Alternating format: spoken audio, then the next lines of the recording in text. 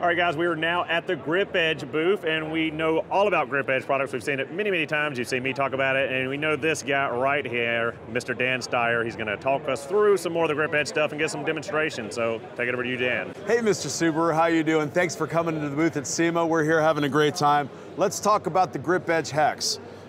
RPT, rounding prevention technology. You guys have seen it. The ones who haven't, you need to know about it.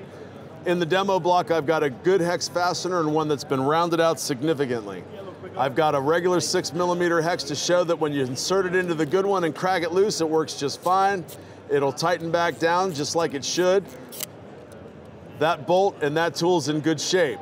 When we insert it into the damaged one, there's absolutely no engagement whatsoever. Now you can hear it clicking because when I apply pressure to that, all that pressure is being exerted to the outside corners. That's why they round over. RPT, rounding prevention technology, engages the fastener in a completely new way. When it's in good shape, it'll absolutely crack them loose and tighten them back down again just like it should. But the interesting design allows the pressure to be pulled inward rather than pushing to the corners. That's the rounding prevention side of it. But have a look, if we put it into that damaged one, I can absolutely crack down and take fasteners out that no other tool has a chance to get out. And look at this, I can even tighten it right back down again. RPT technology is the next generation tool you want to reach for it the first time, every time, prevent the damage from happening, but if you come across one that's already been damaged by somebody else, we are your best fighting chance at getting it out. So guys, out here at SEMA, we are at the Wera isn't that right? Wera. That's right. Wera, Wera, Wera, Tools Wera. out of Germany. W's or V's. Always yeah. remember W's or V's. Out here at the booth, and we are going to check out some of these tools. Haven't really covered them in the past. We had that advent calendar a couple of years ago, but a ton of you asked about the Joker wrenches, and we're going to get a demonstration of why you need them in your toolbox, right? Absolutely. Typical open end wrench is going to look like this. When you're in tight areas, you always get those two turns you can handle. You get that point, you cannot get back on again. And if I go take this apart, that nut's going to fall inside whatever I'm working on. So with the Joker wrench, you're able to lift up from the top, and I can stand here all day and keep turning. I never have to flip my wrench, never have to do anything. I keep turning and turning. I can also grab this fastener from the top side, back the bolt away, and the nut is actually captured on the end of the wrench. Turn it over and it will fall right out. So in order to put it back in, you can set it on the corners. Sometimes having to see is difficult. Put it right back in and put it back together. 80 teeth on this side, so four degrees of movement. We do make an offset version with a switch and reverse switch. The Joker 6000 uh, self-adjusting open end wrench. It basically is, it enables you to cover metric and SAE sizes from seven millimeter to inch and a quarter or 32. Basically you put it on and as I turn it recenters each time you turn. So I can jump to that from that fastener to this fastener. Nice little speed wrench. We also make a voltage one, tested at 10,000 volts, guaranteed for 1,000. Anybody working in voltage, we did add the major feature of putting a thumb switch on it so you can open. Very nice. How about a little bit on the uh, Wera Tool Check here? Yeah, it's tool, a really popular item that you sell. Absolutely. Tool Check Plus is our most popular selling kits. We do make an SAE and a metric version. You open up, you got your bits, even some tamper-resistant Torx. You have your socket rail. All the sockets are color-coded by size. We had knurling for hand starting, so it makes it easier whether you're wearing gloves, your hands are greasy. A, a screwdriver with a rare earth magnet, very strong magnet. This little ratchet on top, 60 newton meters of torque, or 40 foot-pounds of torque, that's rated for. Lifetime warranted.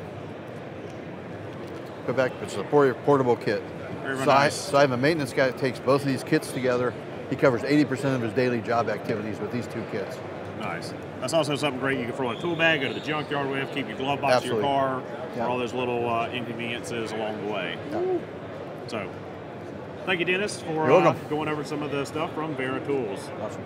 All right, guys, still out here at SEMA, and we are now at the Spring Tools booth. We've talked about Spring Tools a little bit in the past, but uh, we got our guy here, Mr. Brian, and he is going to give us a demonstration and tell us more about Spring Tools and why you need to add them to your toolbox. Hi, Brian Turpin, Spring Tools. We're going to start out with our uh, stamp ID kits. We have two size stamp ID kits, a 3 16 and a quarter inch. Nice thing about our tools, you see the, the stencil on the side, that's how it'll appear to you.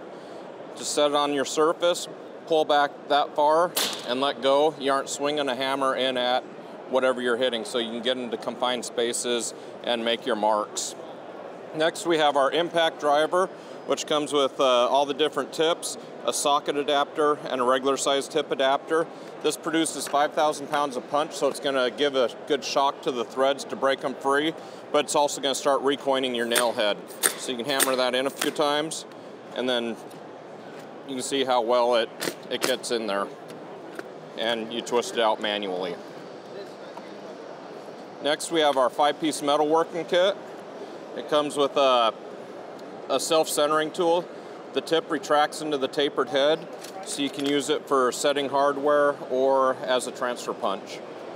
We have a couple different uh, style center punches for the next two tools. You can see it's broken right here if you just have a lightweight job, knocking glazing off ceramic tile before you drill through it or whatever.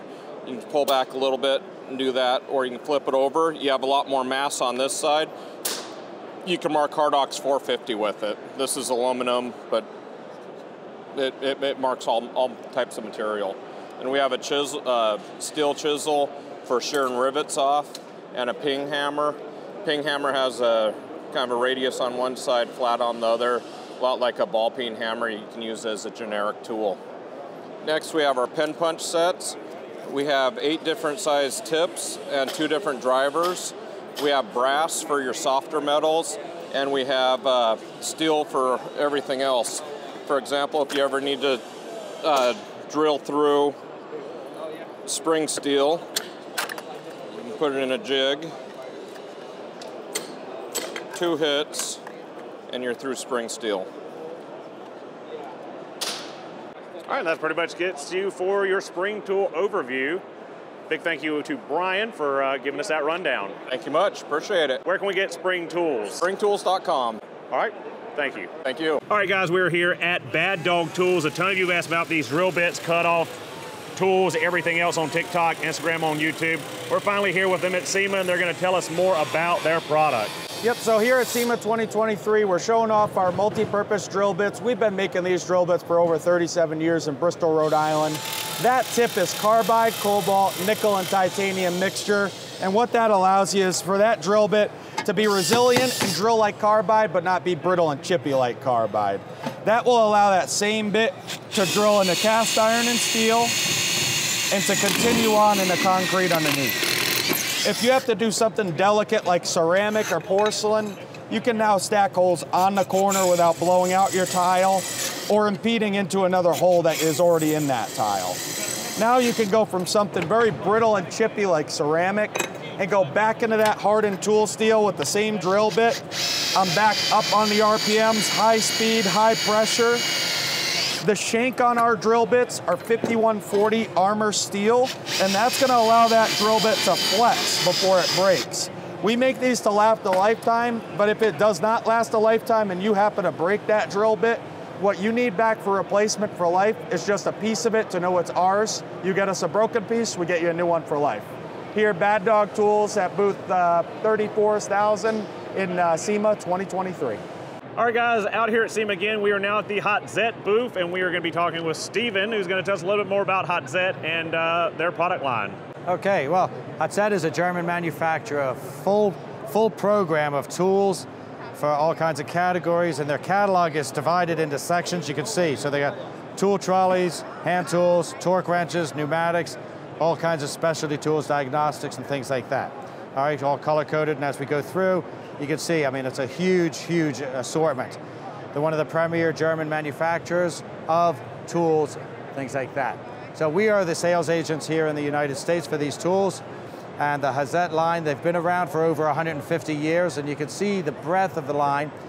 Their key is innovation as far as maybe tool storage, uh, applications, such as the smart rails. All right, so you can see that you just click, click that on, and now they're not going to come off, but if you just turn that, it comes right off.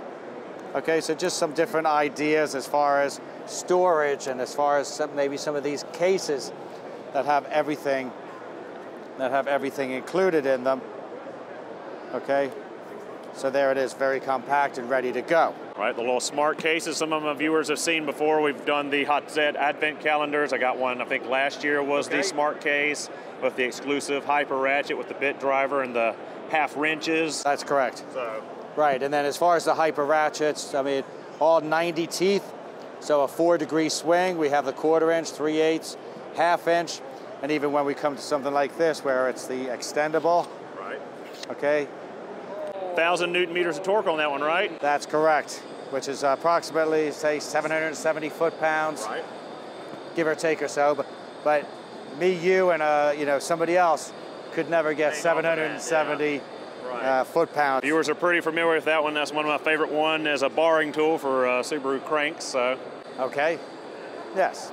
So as far as the Hazet line, you know, we, we are a full service and full stocking distributor for these products here in the U.S. We have many distributors where you can get them. And if you have any questions, you just let us know.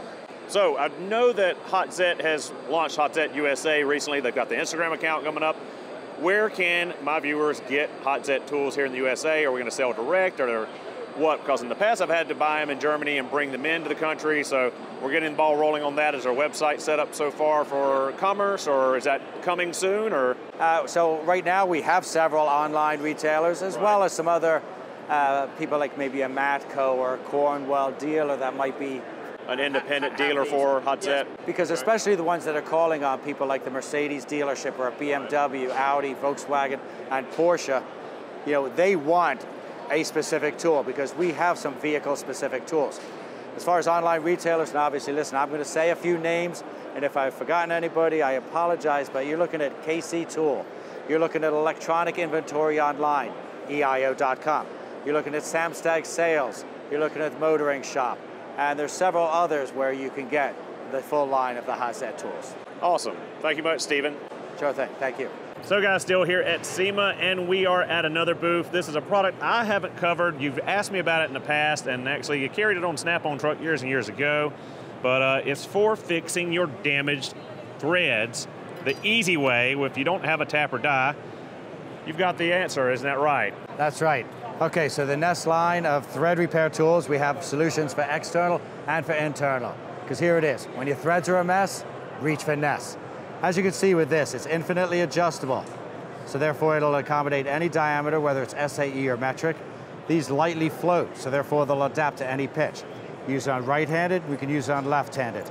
These cutters are high-speed steel and induction hard to 58 Rockwell, so they're gonna last a few hundred times. But they are replaceable. All you do is punch out the roll pin, put in a new set of blades, put that roll pin back in.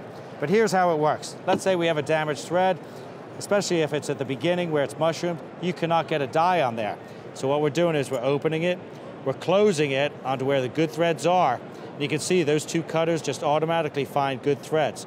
And as you chase that around, as it comes around, when, wherever the damaged thread is, you can see that cutter's just gonna cut right through.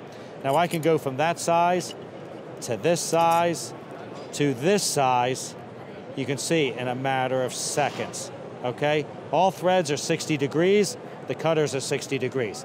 So that's external, that's the Nest 1A, goes up to from 530 seconds to three quarter inch, or four millimeters to 19 millimeters, and we have a do, we do have a larger one as well. Now, what about internal thread repair? What happens is the damage is going to be right at the beginning. Those first couple threads are going to be cross-threaded or stripped. So what we do is we take this tool, we go down below the damaged threads to where there are good threads, and you can see as you open that up now, that cutter is going to go into the good thread, and then you just circle it around and chase it back out. Because even if you have the right size tap, how do you go down through the bad threads to line up with the good threads? If you're successful, it just means that you were lucky that day. Now, the challenge here is that with the Nest 1A, there are some limitations. Okay, so for example, if we've got a wheel bearing, something like this, you're not going to be able to go all the way around. So what the factory have developed here is what we call the Nest 5 tight space thread restore. It goes from 3 eighths to 11 sixteenths or from 10 to 18 millimeters. The cutters are a little flexible with a spring, so that means they'll adapt to any pitch. So you take this, you put that on there, you close that on, it's going to find the threads, and as you turn it around, it's just going to follow the good threads, and it's going to repair them all the way up to the top. Because how many times have we had a problem where somebody's taken the wheel off, they've damaged the, the stud bolts, whose fault is that? Who's going to pay for it? But when you have the Nest thread repair tool, especially the Nest 5, You can get this fixed in about a minute and you're up and running and the customer's happy, and especially your shop owner is happy as well. All right, so when your threads are a mess, reach finesse. Awesome. Thank you once again. All right, thank you.